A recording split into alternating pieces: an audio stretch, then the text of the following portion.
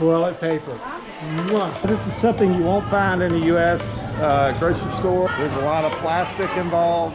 I saw those in my bathroom this morning uh, right Brown. after breakfast. I mean, it's sexy, honey. Sorry, buddies. Ooh, yummy, my favorite. What's this? Where are we going? We're always going somewhere. And we've always got these slingshot attached. We are headed to the grocery store right there.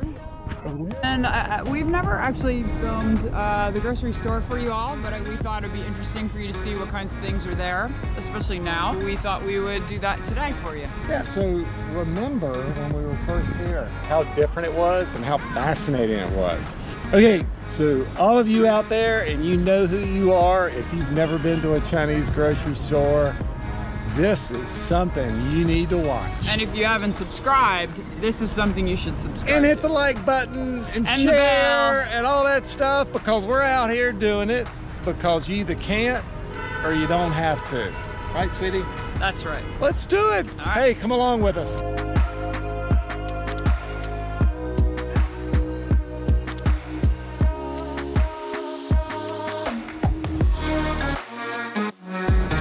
Oh, cool.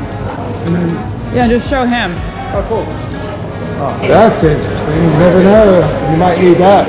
Is that for sale or are they going to use those? Two weeks ago, we took about, I don't know, two hours to get our green QR codes that are personal to us that say, and we've gone through quarantine and we are healthy. This is the first time in the grocery store that we've been able to use that instead of the other scan. So now we don't need to be thermometer tested. We can just walk in if we have the green QR code. Here's where they've got discount items, and they never do this in the United States, but it's awesome. So the organics over here. Oh, ni hao.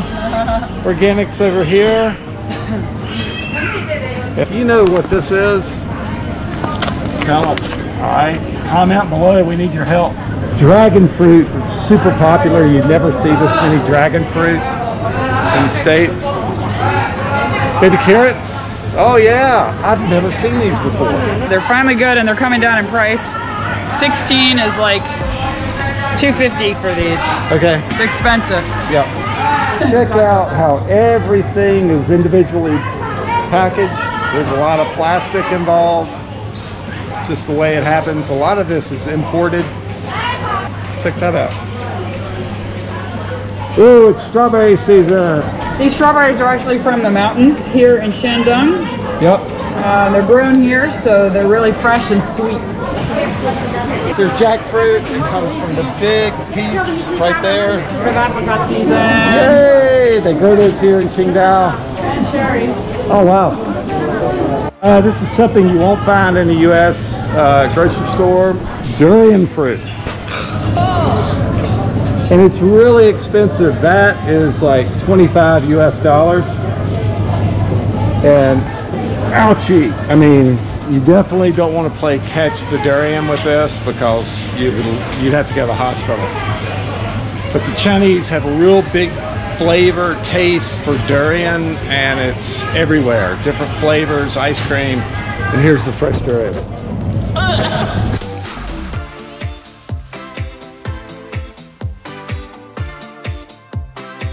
the people that work here at the grocery store, these different areas, you can hear them speaking up. They're selling their own stuff. Chinese really don't like fruit that has any blemishes or bruised or it's brown. So this particular fruit has just a little bit of a, of a hole here. But we don't mind it because it just means it's more ripe and it's perfect condition and we get it for 10 cents on the dollar.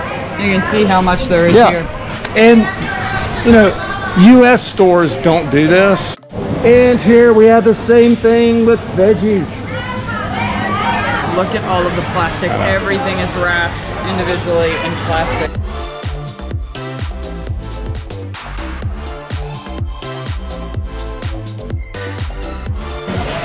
So one of the great things about Shandong province is they grow peanuts here. And uh, so we get uh, fresh peanuts that has nothing added to it, no sugars, nothing, which is ama- this is amazing peanut butter. And then this one here is sesame butter. And, uh, And we use it at a, as a replacement for tahini. It's a little darker, different flavor, but for hummus and whatever Yeah. else we want tahini for. So Both really, really good. One of the other great benefits of living in Shandong Province is uh, the bees. The honey here is supposed to have some great medicinal purposes. It's Oh, did you mention me? Like, that's how you see cosmetics. I mean, it's sexy honey. And look at all the different varieties. And there's a lot of ready-made things here, so you don't have to make it at home.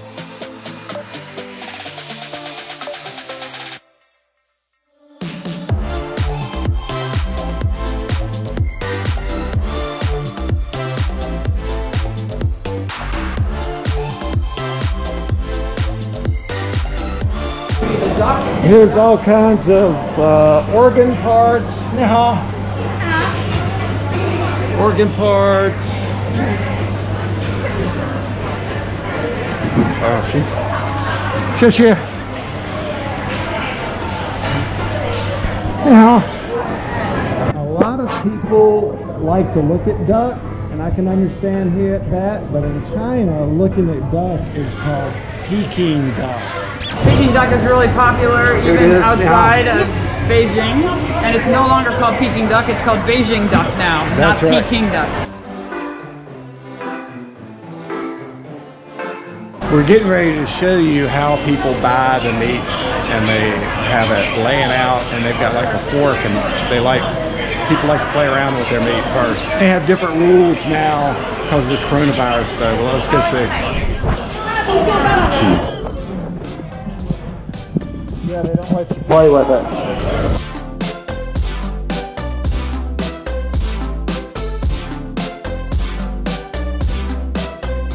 Hot pot's a big deal. You may not even know what it is.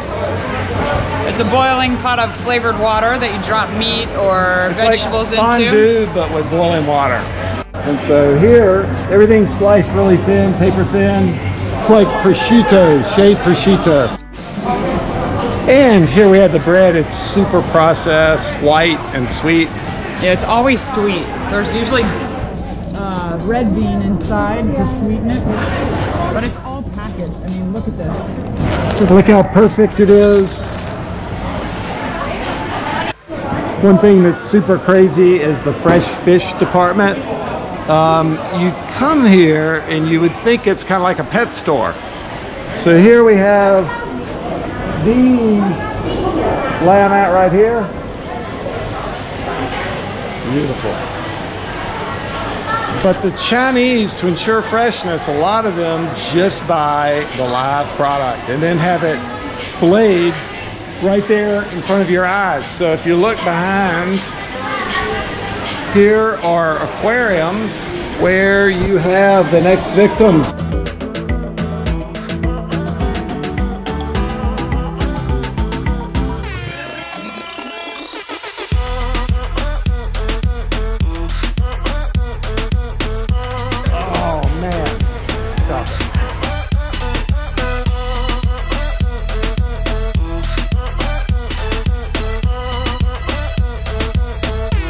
Ago, before they had refrigeration, they were big into drying things. So now you can get pretty much any seafood in a dried and salted state.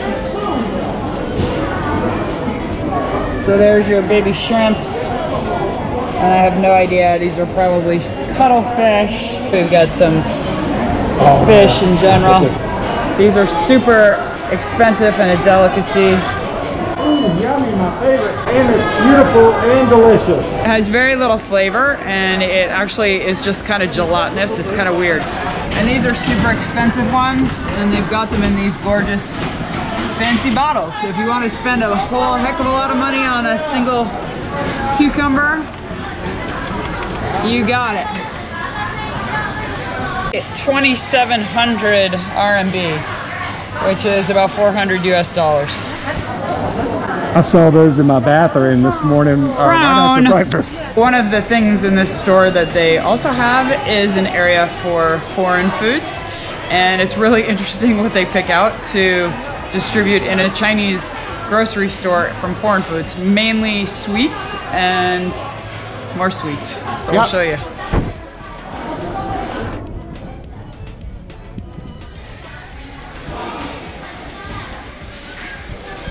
Called imported foods. They do import a lot from Russia. The Chinese love their yogurt really sweet, and you'll be able to see in a second that whole wall from there all the way down to the end of the wall is all yogurt. And it's all sweet yogurt.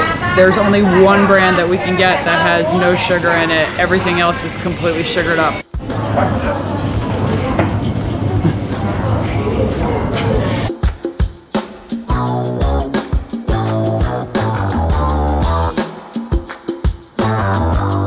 And here I find the most interesting flavors of chips. Roasted chicken wing flavor, grilled squid flavor, ooh, grilled eel flavor, fried crab flavor, spicy crawfish flavor.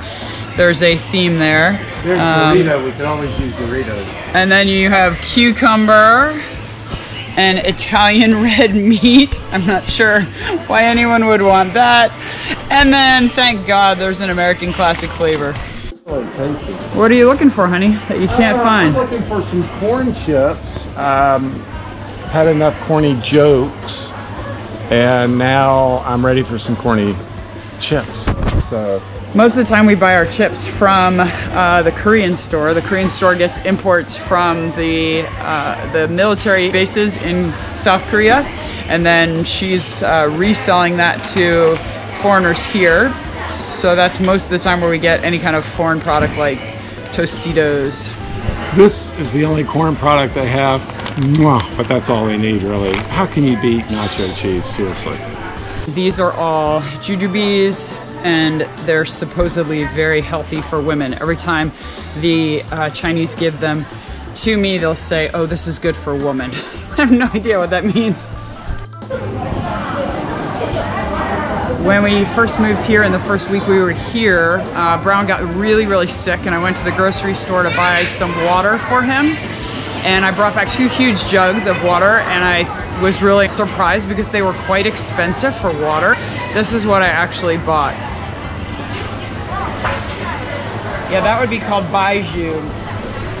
It's basically 80 proof. And That's that's enough to get, I'd say, a rugby team drunk right there. That one jug. And that's what I brought back for my poor sick husband who was completely dehydrated.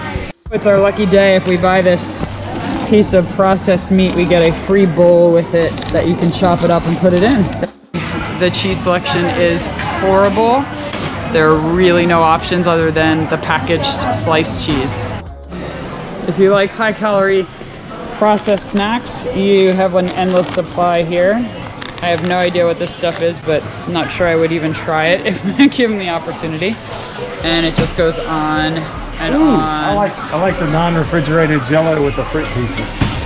Now you'll see that it's household goods to the right and those kinds of things, sales in the middle. I'm not sure what that's supposed to say. um, alcohol, beverages. This is really beautiful. If you're looking for gifts for people, this is a great place to come. It's um, tea from Lao Shan in these beautiful packages. Gift sets of the tea, and much of it comes from and is grown in Laoshan, where we live. So it's supposed to be some of the best green tea in the world. Okay, we all know what spam is, but here in China, just so you'll know, here's what it looks like. You know when you're cooking Chinese food and you're looking for Chinese ingredients like soy sauce?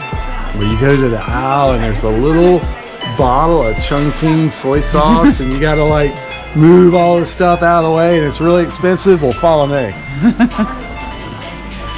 soy sauce. Soy sauce on this side, soy sauce on that side. Give them a close up, babe. They have a lot of fried food. And if you want to know how much fried food they have, and I love it, it's tasty. Here is where the oil is. And most of it is peanut oil Is this soy sauce and oil? and oil It's a gift. in a combo. And the peanut oil comes from the Shandong region, which is where we're in right now. It grows tons of peanuts, like at home in North Carolina, South Carolina, Georgia. And just look but if that's not enough over here, just come down here. This is all peanut oil. and it's a rich, tasty oil as long as you like peanuts. And it comes in light, medium, and dark. It's delicious. And every morning, afternoon, and night, we are smoked out by the peanut oil that is being Man. fried by the people below us and above us. In both of the places we've been in, there's the first thing that we have to do is clean the kitchen because there's a Like layer six inches of grease. of grease everywhere. One of the things they do ask us when we move into a place is please don't cook like the Chinese. They don't yeah. want us to cook and fry, which is really interesting. Yeah, interesting. and it can just catch the whole building on, On fire, too, yeah. So take a look over here, and look, there's even more down at the end. There's more peanut oil there, peanut oil here, right there, more oil. It's cornmeal I think so. Yeah. and rice. So it's already uh, pre-scooped, but you can also scoop your own. And this is where we get our eggs. They are not refrigerated. It's a lot cheaper if you buy them, buy eggs out of the uh, the cartons. So these are super cheap. That's like a dollar for I don't know 25 eggs, I would say. And if you buy them in a container, you pay two dollars for those 12. I know you guys are gonna eat your heart out when you see this, but Toilet paper. Mwah. You got to love it. You don't have it back in the States. no we have- shortage here. we have mountains of it here. Lots of toilet paper. I know y'all are jealous.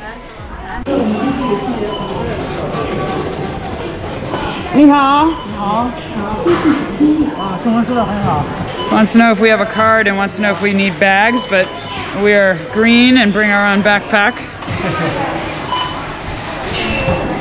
So Brown actually is going to pay by uh, WeChat. He just has to put this code in front of uh, this little scanner.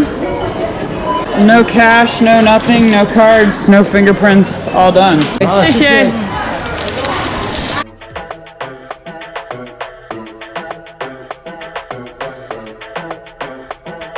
I hope you enjoyed seeing a Chinese grocery store. It's the one we've been using for four years, and it's where we call home. One time it was very strange, and oh, we know how to negotiate it now. We know the people; they wave to us. It's just uh, A it lot really of things, works. A lot of things are in English now that weren't before. Yeah. Yeah.